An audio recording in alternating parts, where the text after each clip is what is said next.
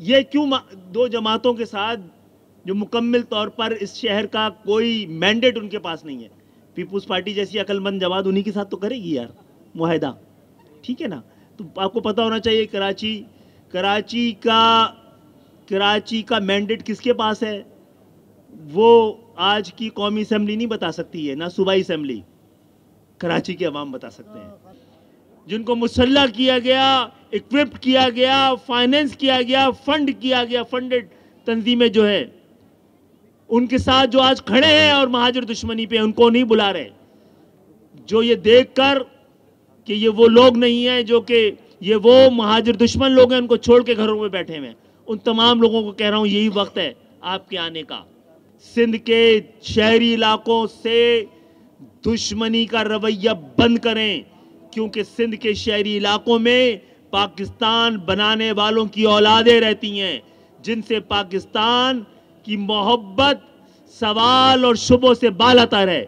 कराची पूरे पाकिस्तान को पाल रहा है। कराची से दुश्मनी, पाकिस्तान से दुश्मनी है। तो उस पर उन्होंने जवाब दिया है, ये पता है, वज़ीर अजम इमरान खान को भी पता है, पीटीआई को भी पता है, सबको पता है कि जब माहिदा हुआ था तो हमने दो वजारतें मांगी थी।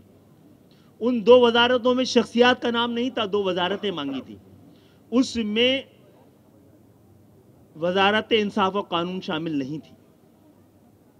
लेकिन हमारे पास एक ऐसा काबिल वकील हमें दस्तयाब था, जो उससे बेहतर इस वजारत को चलाने के लिए हुकूमत के पास भी कोई नहीं था। तो हमने एनओसी दी थी हुकूमत को कि आप हमारे सेनेटर को ले सकते हैं। उन्होंने ले लिया। हम क्यों कहते हैं कि हमारा एक वज़ीर है? कि कोटे में जो दो वजारतें थी, उनमें से, चले हम ये कह देते हैं, हमारी एक वजारत है। और फ़रोग भाई की वजारत जो है, वो उनकी काबिलियत की वजह से मिली है। एम के एम के कोटे से नहीं मिली है। ठीक है? वो हमारे हैं और हमारे, हमारा, हमारे सर का ताज हैं, हमारे लिए एजाज़ हैं, हमारे बड़े अहम कारकुन हैं। और दूसरी बात है, जो आपने आपने जो पुलिस रिपोर्ट कही है तो ये नस्ल परस पुलिस जो रिपोर्ट दे सकती है, वही तरह की रिपोर्ट है आप मुद्दई भी हैं, मुनसिफ भी हैं, गवाह भी हैं, आप मालिक नहीं हो सकते इंसाफ और कानून के भी। गुज्त दिनों वाल, आने वाला सुप्रीम कोर्ट का फैसला, जो कि आर्टिकल 140 एक की तशरी के नतीजे में आया है आइन की तशरी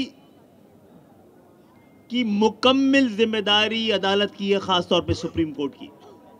और उसने अपना हक और फ़र्ज़ पूरा कर दिया है उस दिन मुकदमे का फैसला करके।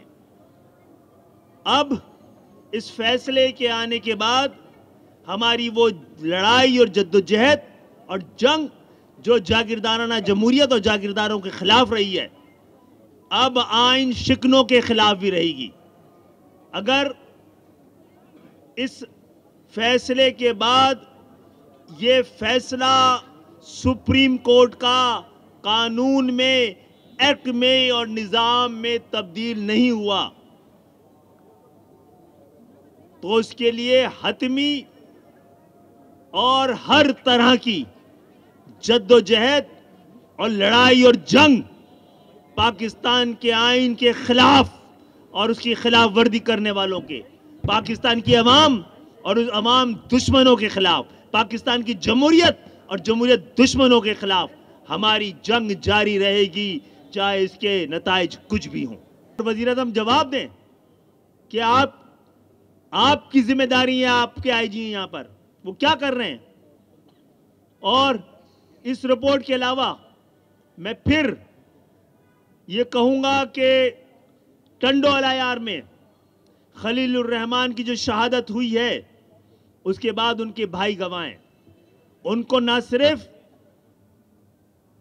मुल्क दुश्मन, नस्ल परस्त, जो कौम फरोश, जिसको आप कहते हैं कि कौम परस्त जमात, जिन्होंने कि एक घंटे में 300 महाजरों को हैदराबाद में शहीद किया था 30 सितंबर 1988 को, जो कि एक जमात की हैसियत से कायम ही नहीं हो सकते थे। ना सिर्फ़ वो धमकी दे रहे हैं, वहाँ का पाकिस्तान पीपुल्स पार्टी के लोग धमकी दे रहे हैं, पुलिस धमकी दे रही है, उनके भाई को कुछ हुआ तो इसकी सारी ज़िम्मेदारी आईजी के ऊपर होगी।